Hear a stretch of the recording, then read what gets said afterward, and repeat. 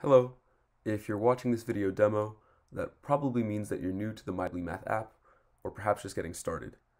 I'm here today to walk you through the app itself and to show you a few of the different systems and tools we've put in place to help organize the app and streamline it, and to show you how to best make use of those various systems and tools. So let's get started right away. I'm going to unlock my iPad, click into the app, and now we're met with the, the home login screen. So here right now I have one profile. It's an example student, Marc Nova. Um, but usually if you have many different students uh, set up on the app, all of their profiles will appear here. So this is a great way to get an overview of the different students you have logged into one iPad. Um, so a classroom full of students will appear with their faces here just as they would in real life. So I'm going to click on my example student and now I'm brought to the home page. This is sort of the, the main HQ you could call of the app um, it's where you'll spend a lot of time. It's the category screen. So as you can see, as I scroll through, there are about 16 different mathematical categories that all of our math exercises are grouped into. Before I get into any of these categories though, I just want to go over a brief overview of the app and the different organizational systems we have. Um, up top, on the top right, as you can see, we have a few different ways of organizing the app. Uh, those are those buttons in green up there. So for example, the knowledge map, very top right, is what I've clicked on to bring me here. Next to it is the catalog icon. If I click on it, I'm brought to a list of grades. This is a different way of organizing our exercises. Uh, it's organized by grade. So if I click, for example, on second grade, as you can see by my profile in the top left of the screen, my example student is eight years old in second grade. I can click here and see all of the different math units that the app deems appropriate for second graders course, you can switch back and forth. Perhaps, perhaps if a student is more advanced or needs a little bit extra help, you can click into the first or third grade. Um, but this is a great way to sort of get a baseline uh, understanding of what units the app thinks is acceptable, or at least just appropriate for a student in a specific grade. Going back to those green buttons in the top right, if I click on suggestions up here, I get a list of teachers' picks just for me. Here's a little example of some of the tutorials we've built into the app to help the kids figure it out. But going back to these math units, um, I have gone on the teacher dashboard and assigned myself a few units. There will be a separate demo for the teacher dashboard that I highly encourage you to watch to get a holistic understanding of MyBlee and how to use it. Um, but for now, we'll focus on the app itself. So I've gone on the teacher's dashboard and I've picked a few different modules or units uh, to assign to myself the way this works is a teacher goes on the dashboard, chooses units, or as we call them, modules, uh, assigns them to their students, and they show up here in the suggestions page on the app. That way, when a classroom full of students opens up their iPads and they all go to the suggestions page, they have the modules waiting right there for them without the need from the teacher to walk around from iPad to iPad and show the students exactly which suggested units to go to. They're right there for them. Finally, this search function on the top left it's pretty self-explanatory. I can search up uh, lists uh, of modules. I can search up modules by name, by mathematical concept. But what's nice about this is that if I go to the search function and I say, let's say I want to work with fractions, then I have all sorts of different modules involving fractions. However, what's really um, useful about this search tool is that not all of these modules are in the fractions category. So if I go back to the knowledge map, fractions has its own category right here. However, if I go back and look up fractions, there are some modules in here that are not in the modules cat uh, sorry, the fractions category. For example, word problems fractions on the top left, that's not in the fractions category, that's in the word problems uh, category. So this is a great way of making sure you can find all of the different modules that contain a certain mathematical unit without having to go into each category and combing over them and making sure that you haven't missed a module that contains, say, fractions if you're interested in working with fractions. So let's go back to the main page. And before I get into these categories and show you how to actually do the math exercises, I want to show you the menu on the top left. There are a few different pages in here that are pretty useful. MyBlee Achievements, I'll show you in a bit. Teachers Panel, I'm about to show you. But I'll start with the top left right here with My Info. because this is what the screen looks like when you first create a profile. So when a student first logs onto an iPad and you want to create their profile for the first time, they're asked to fill in all this information. Now I've put in a photo from the internet, a name, a class, an age, and a gender. The things that are most useful are the photo, the name, and the grade. Age, gender, class identifier, those things are all optional. I'll go over the class identifier in a second and explain what that is. But the photo is extremely helpful for a few reasons. One, when you first log into an iPad, there are going to be a lot of different profiles, as I explained, if it's a classroom full of students, and being able to choose a face out of a crowd might be a little bit easier and quicker than a list of names, especially if you have multiple students who have the same name. So let's say you log onto an iPad, there are three Marc, for example, three boys with the same name as this one. It's going to be a little tricky to sort of pick out which is which without a photo. So I would highly recommend asking your students right there on their iPads to take a selfie and pop it into their photo profile right away. Their name, obviously, um, is helpful because it will identify them just like the photo. Uh, only first name is necessary. I've put in a last name here just as an example, but that's not particularly required. Uh, the grade is very helpful, both for your purposes, so you can keep track of who's in which grade if you have multiple classes of students in different grades, and also so that the app knows how to suggest different uh, modules and it knows which learning level roughly the student is at. The age and gender are more for your purposes than for the apps, just to help keep track of the students, but you can feel free to fill them in or not. It's up to you. And then the class identifier is helpful for school systems. Um, once you are set up with MyBlee in your school, you will have a class identifier that you can use uh, and type in here so that all of your different diff, uh, different classes can have their own sort of set of students and the MyBlee app will know how to organize your students based on which class they are because you will be given a unique class identifier for each class uh, that you have connected to MyBlee. So that's where you would plug that in. That also has to do with the teacher dashboard, again, which is a separate demo that I would highly recommend you watch. Uh, I'll go over further there how to sort of use the class identifier to better organize your students. So let's go back to the menu here. Change profile is simple. If perhaps a student has logged into the wrong profile or if multiple students are sharing an iPad, that's a way to change the profile from one to another. Um, the pink square is another way to use the different uh, organizational structures that we have uh, that I went over earlier. The achievements, again, I'll go over that in a bit. MyBlee Campus, you don't need to worry about that for the moment. Um, that'll be explained at a later time. For now, the one thing that I really want to focus on is the teachers panel, which requires a quick math question to get into.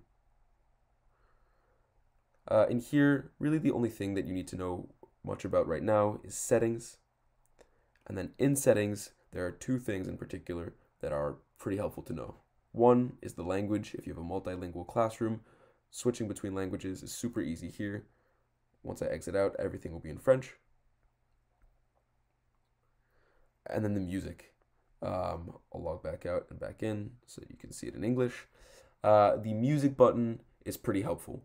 This is because if you have, let's say, an iPad or a classroom full of 12 iPads, all of these students are you know using these iPads with their volume all the way up.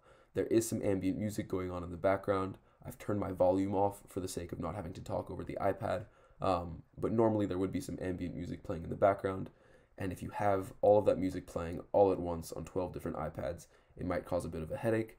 So you can come in here, turn off the music, and then it will be shut off on that iPad until somebody else comes ahead and changes it, which hopefully will only be you. Um, so let's go back here to the front page, to the categories.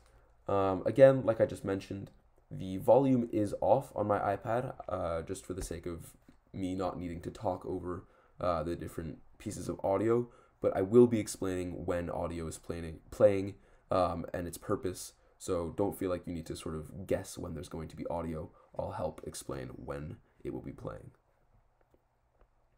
So let's go to geometry. So once we're inside a category, it's organized like this. The modules are organized like this. And the way that they're positioned and organized is the same for every category. It starts with the most simple, with the easiest module. And as you go down, it gets more and more complicated, more difficult. So we start in geometry, for example, with recognizing geometrical shapes. And then as we go down, it gets more complicated. So you're not just recognizing squares and circles, but now you're recognizing, say, solid shapes, 3D objects. You're recognizing symmetrical lines on the left. You're recognizing circles on the right. And then as we go down, we're working with more and more complex and advanced concepts, such as points and line segments, angles, the angles of a triangle. Um, as you can see, there are multiple circles modules. Um, these are organized by difficulty. So as you can see in the bottom right of the little icon on the circles module, there are dots. Uh, the one on top right here has two. The one on the bottom has three. The one up here has one. Um, think of those as levels. This is a level one of circles. It's an introduction to different concepts like radius and circumference.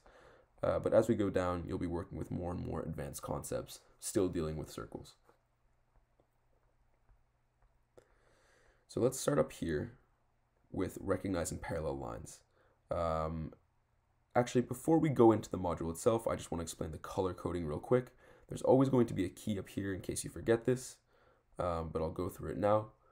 So if a module is listed as light orange, if you see this pale orange as a lot of these modules are, that means that it's a module that the student hasn't opened up yet and hasn't started doing exercises with and is not really considered appropriate or um, sort of right on the point of where the student is supposed to be based on their grade. So for example, right here, recognizing geometrical shapes is pale orange because it's probably a little easy for a second grader. By the time that most students get to second grade, they can recognize and differentiate between circles, squares, triangles, etc. Whereas down here, uh, level three of circles, angles of a triangle, those are all modules that are pale orange because they're a tad bit advanced for a second grader. Um, you want to sort of introduce these concepts perhaps later on in a student's education, unless they're really advanced. Now, that doesn't mean that a student can't try out these exercises, they can't go into these modules and look at them.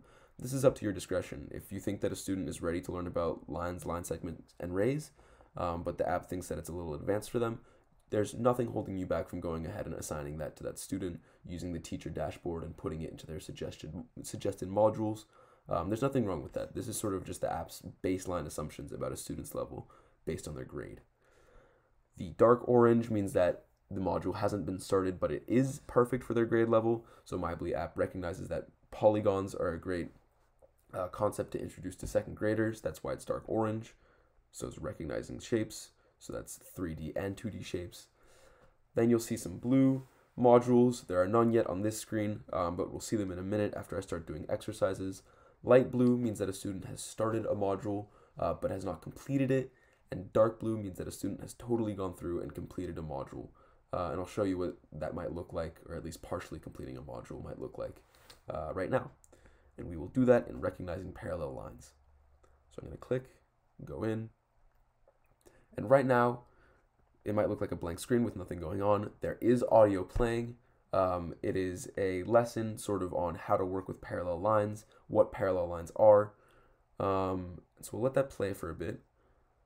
I'll show you what it looks like when a lesson's going.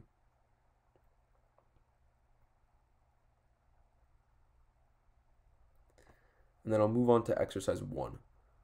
So I've clicked on this little one tab on the top of the screen and I've moved on to the actual exercise.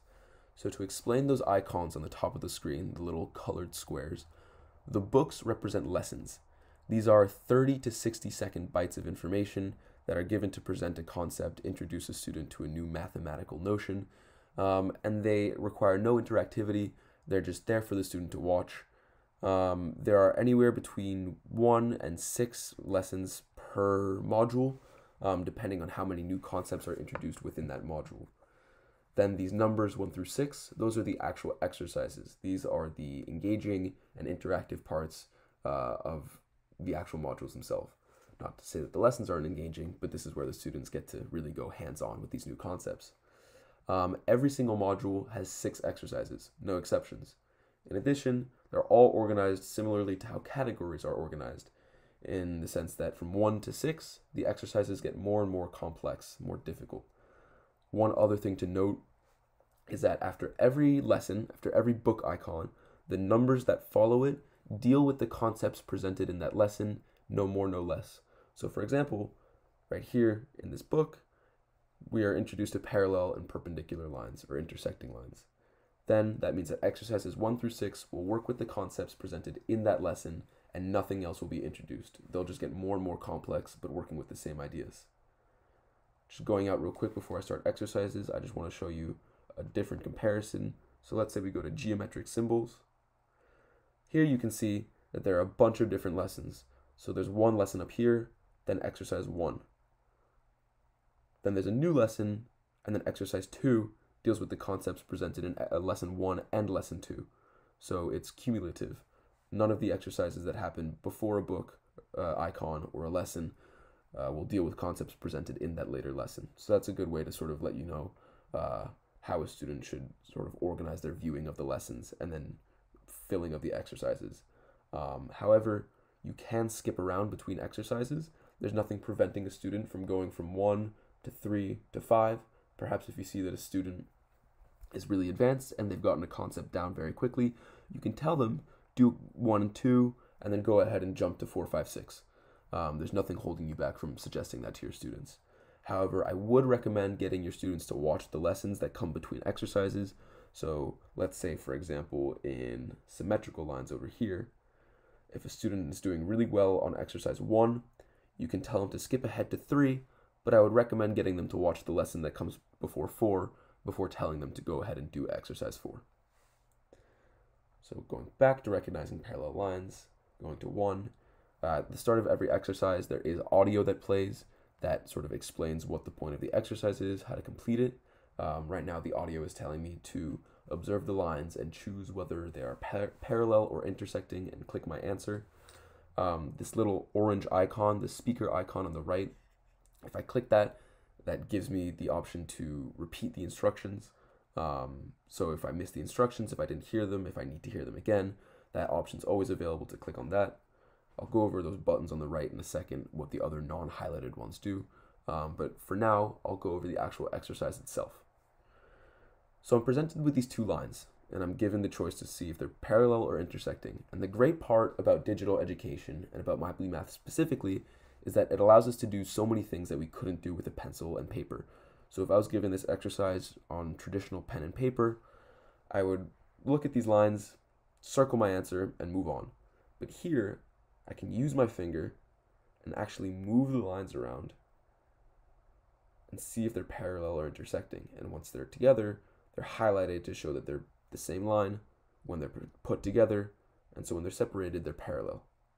So I select my answer and I move on. Different question. Now they're intersecting. I can move them around and the app actually highlights the point of intersection. Very helpful for visualizing and for sort of getting a hands-on uh, experience working with this new mathematical concept. So I choose that they're intersecting and I move on. As you can see on that tab, the one tab on the top of the screen, there's a little green bar that's filling up as I complete these exercises. That green bar fills up with correct answers, so incorrect answers will not contribute to the filling up of that bar. Um, and once it's filled up, I get little prizes and rewards for finishing the exercise. And I'll show you what that looks like in a second. Um, there are different amounts of sorry, there are different amounts of correct answers required to fill up that bar depending on how complicated the exercise is. So if the exercise is a multi-step problem, let's say it's a geometry problem that involves a few rounds of calculation, it might only ask you for four or five correct answers before you fill up that bar. But for something like this, where it's pretty easy to look at the lines, click your answer and keep moving within a few seconds, it'll ask you for more like seven or eight. So I'm going to keep on doing these problems, filling up the bar, in the meantime, let me explain the buttons on the right. Um, that button up top, that's a timer. Um, that's there for timed exercises. So, for example, multiplication tables. Um, since a student should, in theory, know multiplication tables by heart, um, they should be able to recite them in a certain amount of time. So that's where the timer comes in. We don't like to time a ton of exercises because we recognize that timing exercises might cause pressure for students. But again, for things like multiplication tables, sometimes a timer is pretty helpful to get them to sort of memorize them uh, to the point where it's reflexive to, to recite them. Um, also, some exercises in mental math, for example, will ask you to use the timer so that you can make sure that you're doing mental math in, a, in an efficient manner. Um, below the timer icon, there's an eraser. Uh, many problems, I'll show you one later, ask you to write out your answers. There's a handwriting recognition technology built into this app. Um, but if you write the wrong answer, or maybe if you use your your messy second grader handwriting to write in an answer you need to erase it, that's what that button is for. Again, the speaker is for repeating instructions. Below that is a calculator. Not many exercises will ask you to use a calculator, but some of them, maybe if the calculation isn't the point of the exercise, again, say a geometry question where some calculation is required, but the point of the exercise isn't to improve calculation skills, um, that's where the calculator will come in. Below that is uh, if a question requires maybe a table to be filled out or a graph or some sort of uh, pre-existing structure, um, that's where a blank one will be. So if I have a unit conversion table, for example, I can click on that button and have a blank unit conversion table to fill out and work with. And then at the very bottom, that pencil icon, uh, that's scratch paper or extra working space. Um, if a problem requires a lot of sort of working and a lot of visualizing your, your work, that's space that'll become available. That button will be clickable when you get to those exercises. Um, so going back to the exercise itself, as you can see, I've mostly filled up the bar. I'm about to fill it up and show you what it looks like when you finish an exercise. Our little mascot comes up. Iron puzzle pieces. And a badge. And I fill out my score. So this is a lot of different systems coming into place at once, and I'll take a pause in the exercises to show you how this works. So let's go back to the home page. I get a little stamp for completing an exercise today. I go to the menu, and now I can see I have a few icons in the MyBlee Math achievement section. So these achievements are little rewards that you get like you just saw from completing exercises. Um, they're sort of incentives for the students to get excited about math, um, sort of real tangible rewards that they get from math because as nice as it is to get a student working on math and to get them doing exercises just for the sake of being better at math, sometimes they need a little colorful reward to act as the carrot at the end of the stick and get them to keep going. Um, it's exciting for these kids to win different rewards, and I'll show you how they can sort of apply them in different spaces. I'll go from left to right in this achievements uh, section. So on the left, little calendar that tracks what days of the week and how long I've spent on each day uh, on MyBlee Math. I can tap on the step itself and it'll tell me what exercises I did, what modules I worked in. Oops, excuse me.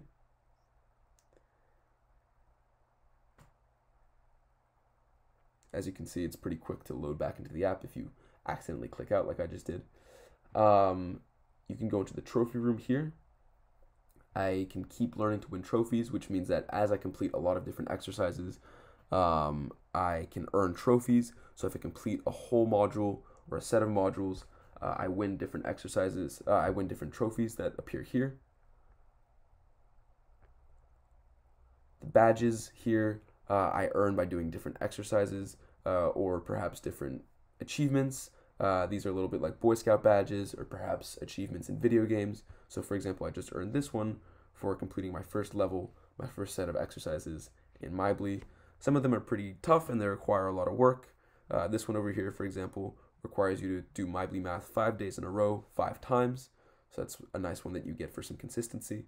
Um, and then some of them are, you know, silly little ones that are fun for the kids, but don't really reflect a lot of math achievement. They're more just there for, I guess, a fun little reward. So this one, for example, you get for completing uh, an exercise on Halloween. Going back to the achievements, the next one from the badges is the puzzle pieces. This one's my favorite. Um, it's a really sweet way of sort of applying uh, the different rewards and points that you win in a fun, creative way. So you see all these photos are grayed out, but a student can choose a photo that they want to start filling out. Let's say I'm feeling hungry today, so I look at the photo of the candy over here. I can take my puzzle piece that I've earned, pop it into the photo, and then as I keep going, it'll slowly start to fill in as colors. And then as the student keeps on working with the app, they can see all of these different black and white photos slowly start to transform into colored photos. It's a great way for the student to sort of see their progress and also choose the photos that you know they find the most interesting, personalize their experience a bit. It's really sweet. Um, you can see in here that there are golden puzzle pieces required. Um, so on the top right, it keeps a tally of how many puzzle pieces and how many golden puzzle pieces I have. Um, golden puzzle pieces you earn for completing uh, the levels five and six, or the exercises five and six within a module, um, getting them 100%. Uh, I think level four as well, but I'm not sure. But it's basically a reward for completing the most difficult exercises within a module. And they work differently. You can't complete a puzzle until you've earned the golden puzzle pieces required to fit them in.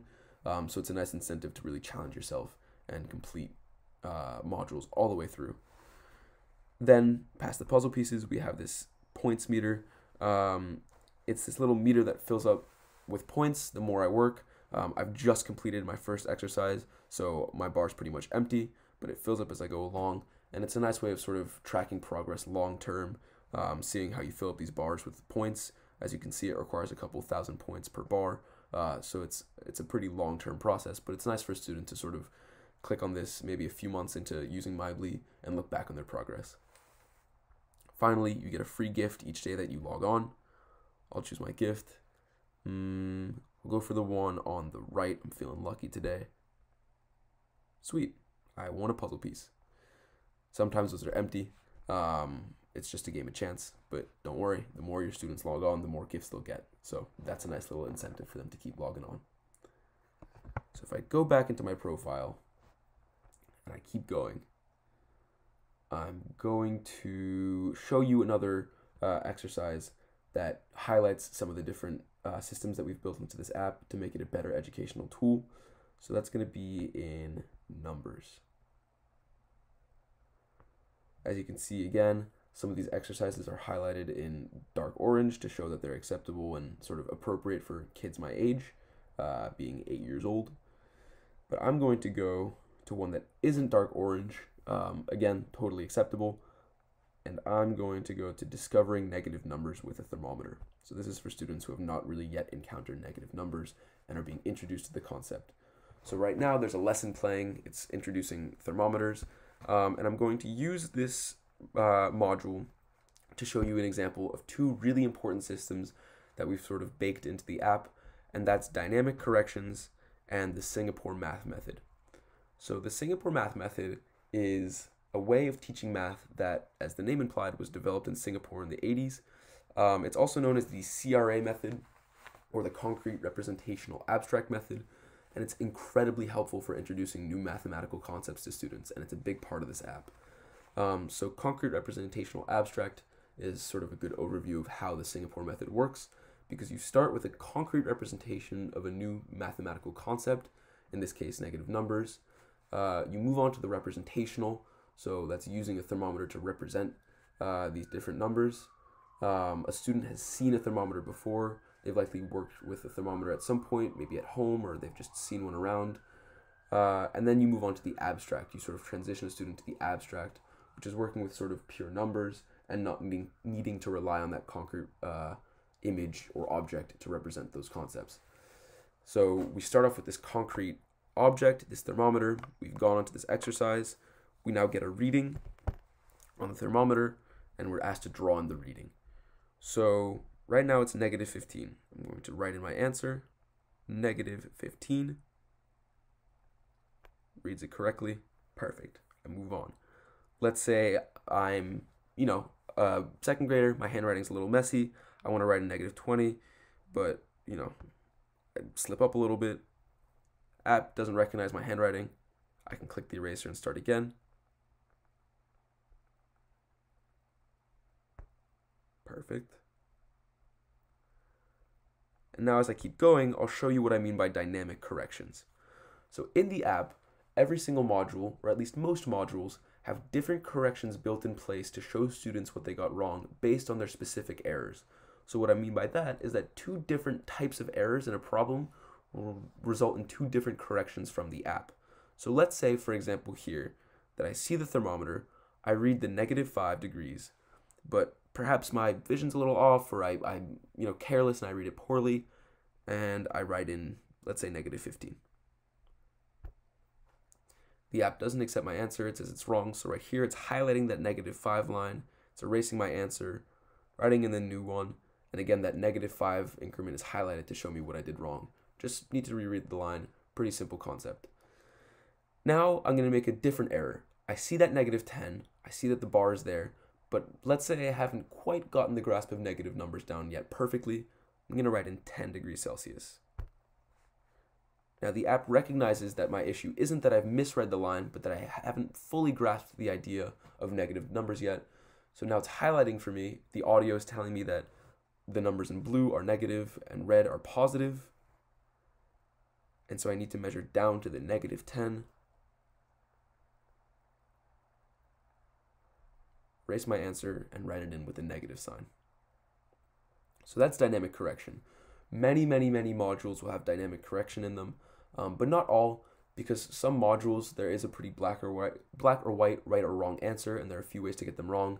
Um, multiplication tables, for example, doesn't really need dynamic correction because either a student gets the answer right or they don't.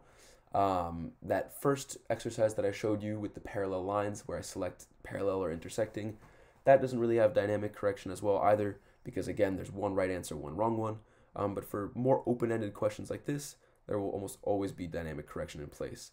This is incredibly helpful and lets you sort of get by on letting the app do a bit of your job for you uh, in the sense that if a student gets a question wrong, you don't need to run around from iPad to iPad, student to student, and show them exactly what they did wrong and how to fix their error. The app is there to do that for them.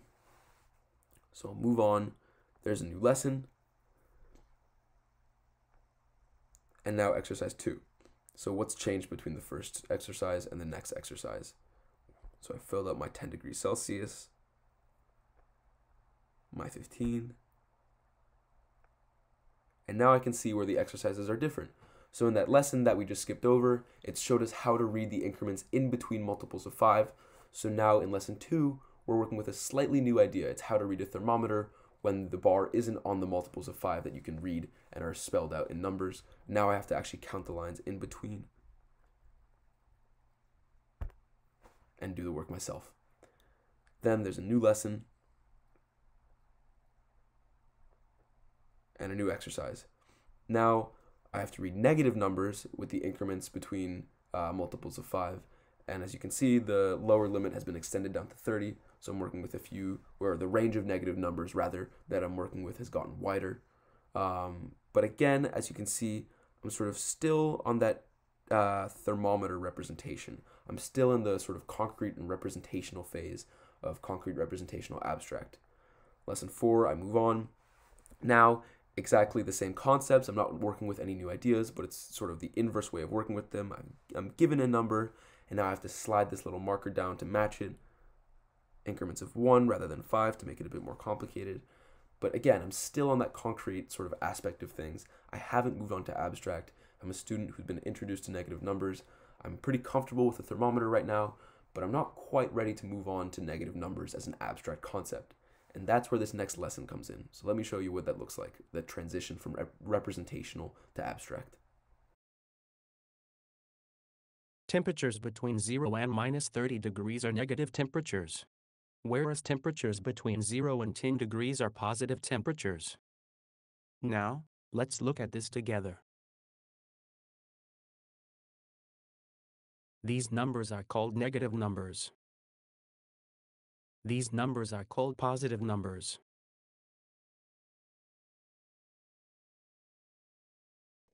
Drag the number to the right place. Now, as a student, I'm ready to work with negative numbers on a number line, which is a much more abstract concept. As time goes on, there will be more and more questions that involve asking a student to work with negative numbers that are now completely abstract because a student has gone through this Singapore math method of starting out with a very concrete um, image or object and using it as sort of a guide to transition students into abstract versions of that same concept. Um, this is a really great way of teaching students math. It's an enormous advantage of using MyBlee Math or any digital learning tool, but especially MyBlee Math, because we have such a strong emphasis on Singapore math and on using this sort of uh, visual and dynamic way of introducing concepts to students um, that you can't find in really any other format, especially a traditional pen and paper format. Of course, I'm not dishing on pen and paper. Um, it can be very helpful for doing rote exercises and drills, um, but you can't introduce mathematical concepts or work with them in such a hands-on way uh, in the same way as you can on this app. So that's why this is super helpful. So now I'm on to negative numbers as an abstract concept. I can move on to number six. You can see there's a timer up top.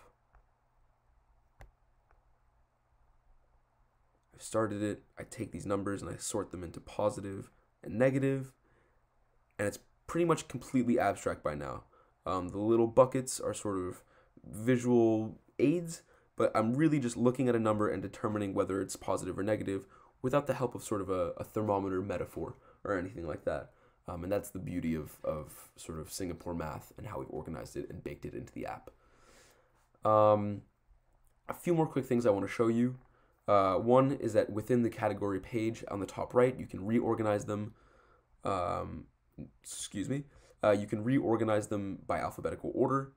Um, the ones that you've already opened up and the ones that are appropriate for the student or the ones in dark orange will appear at the top for convenience. If you click on the module, you can watch a demo, start it, look at your progress on it. Um, and then this light bulb is right here. Um, it's the suggested uh, modules within that category. If your teacher or if a student's teacher has suggested a module for them um, that is within the category, it'll appear here. And then if not, the app will suggest one that it deems appropriate for a student of your level.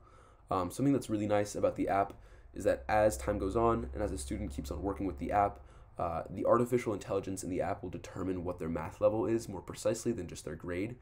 Um, so that as time goes on, let's say I'm in this category and I'm looking for uh, an exercise to work with, and perhaps the teacher says, find an exercise on your own or work with it at home. I can click on this light bulb and the app will actually suggest a uh, module to me that's pretty tailor made to my specific strengths and weaknesses in math. So that's super nice. The the the artificial intelligence that sort of looks at a student's strengths and weaknesses It's pretty robust. Um, it's not just rate of success. It's does a student work well with abstract concepts, with visual concepts, with quick math versus you know structured longer word problems.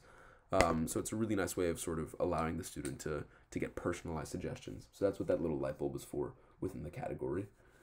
Um, and then finally, I just want to show you really quickly sort of another way that the app is super hands-on and helpful for introducing concepts. So let's go to tables and graphs. I'll reorganize it by difficulty. So you can see that some of these exercises are dark orange because they're nice for students in my grade level, but I want to go to starting graphs. So there's a lesson introducing graphs, and then here I'm given uh, a little bar chart to sort of start me off um, on the idea of graphs, start off sort of the journey of graphs.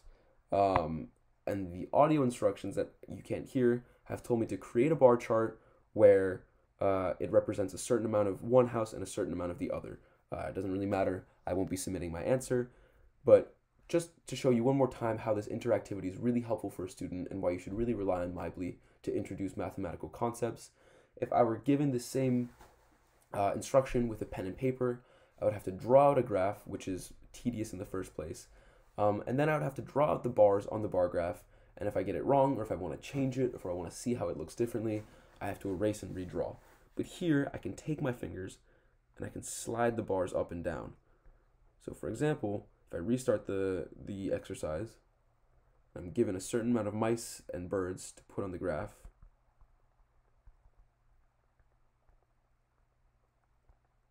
can actually use my finger like I just did and slide the bars up and down, right? Um, in the next few exercises, I can do the same thing. I'm asked for a certain number of boys and girls on the graph. I can slide the bars up and down, and this is a much more interactive and engaging way of working with a new concept. Um, the last one here I like, uh, it's say uh, the instructions are, you know, make a pie chart where the majority of fruits are cherries, rather than having to draw a pie chart and then draw in static lines that I can't change. I can visualize exactly what it looks like as I increase the proportions of different fruits on this pie chart. It's a much more interactive way of working with new concepts. Um, so I highly encourage you when considering how to introduce a mathematical concept to your students, use MyBlee Math. Um, I'm not suggesting that you completely replace paper and pen entirely, um, but this is a really great way to sort of introduce mathematical concepts and then keep working on them as more and more advanced versions of themselves.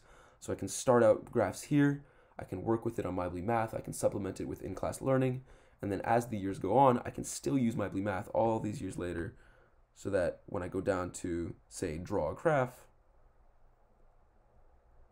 it's a much more complicated way of looking at the same concept that I learned uh, way, way, way earlier up here. Um, and it's going to be a lot easier for me because it's really dynamic and it's still using that same level of um, interactivity. So for example, here I can look at the pie chart, I can uh, adjust the different bars. I'll wait for the audio to finish so I can start adjusting the bars. Right, like that. Um, and then that way, it's a really interactive way of working with pretty advanced mathematical concepts, at least at an elementary school level. So I'll leave you with one suggestion uh, at the end of this demo, and it's do your homework a little bit with the app. Um, there are a lot of different modules and exercises within them, and nobody expects you to go through and memorize every single module and exercise. I've been working with this app for a while, and I don't know where every module is within the categories, um, but it's really helpful to sort of know uh, what you'll be working with in advance for a day.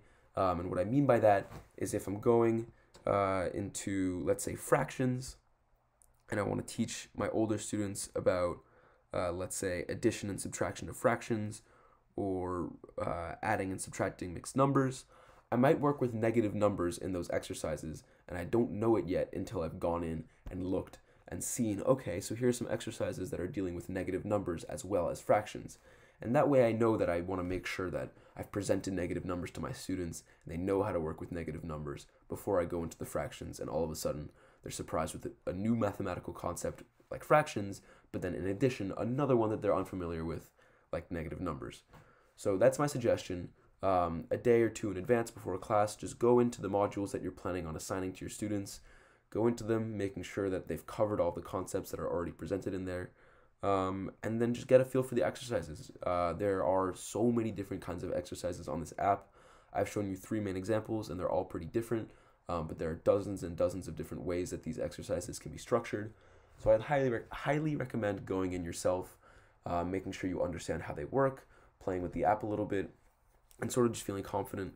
Um, it is an app built for kids, so there's nothing on this app that you can't figure out on your own.